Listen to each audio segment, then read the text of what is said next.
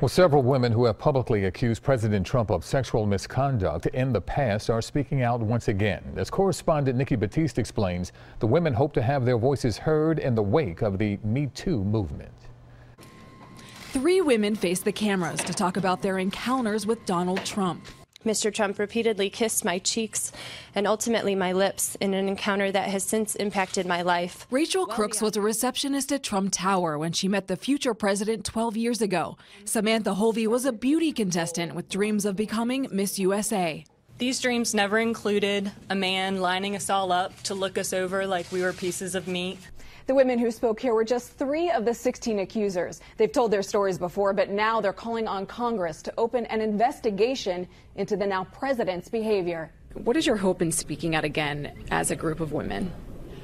I guess our hope is that this issue does not get swept under the rug and we go on from here. Jessica Leeds sat next to Mr. Trump on an airplane more than 30 years ago. It's when he put his started to put his hand up my skirt. I managed to wrestle myself out of the seat and stood up, grabbed my purse, and went to the back of the airplane. Hours before the news conference began, the White House released a statement saying the women's claims were addressed during the campaign. The people of this country had a decisive uh, election, supported President Trump, and we feel like these allegations have been answered through that process. The women say the environment has changed since then, and it's time to see the president held accountable. Nikki Batiste for CBS 3 Eyewitness News.